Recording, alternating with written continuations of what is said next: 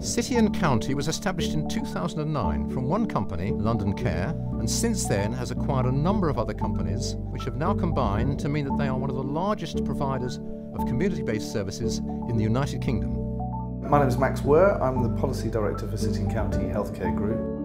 All of us, uh, I think, feel that when the time may come that we need support to do some of the everyday uh, tasks in life, looking after ourselves, taking care of our personal care, washing, bathing, dressing, I think all of us would rather that we could do that in our own home. Um, and for that reason, it's very important that we as a society are able to provide services that allow people to do that, to remain independent, rather than going into residential care.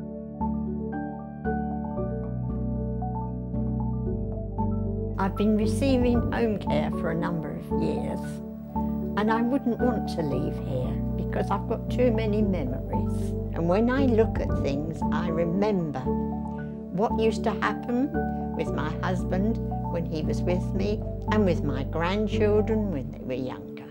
It's memories that you have. That's what it's all about.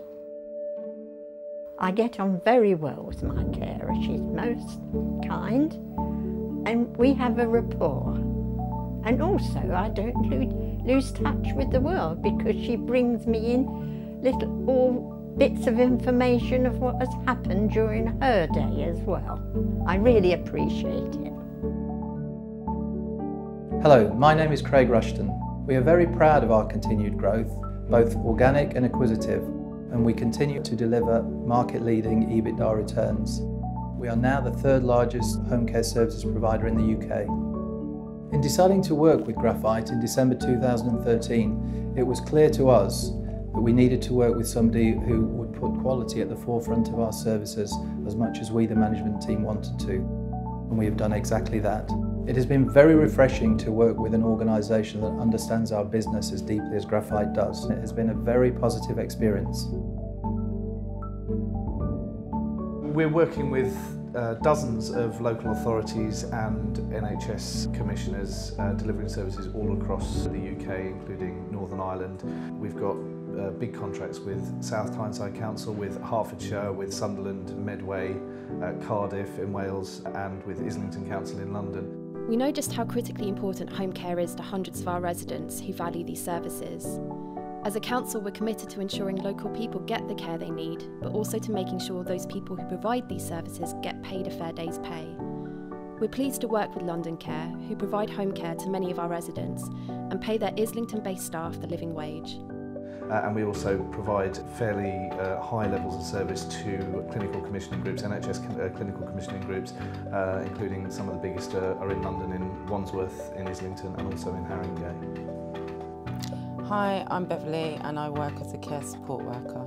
Um, why I work for City and County, um, it was recommended. I think it's very um, difficult to have a fulfilling life um, without giving back to kind of um, help people and, and um, decrease suffering in some way definitely is rewarding and makes me feel happy at the end of the day, yes. I feel working with CNC, um, if there are any um, obstacles or any issues um, that may occur, um, they are very supportive on approach in helping you resolve any matters. And obviously it's very important that Aisha has a fulfilling life. My name is Aisha Pickford and I'm disabled. the care that Beverly provides for me is essential because I simply can't do it myself.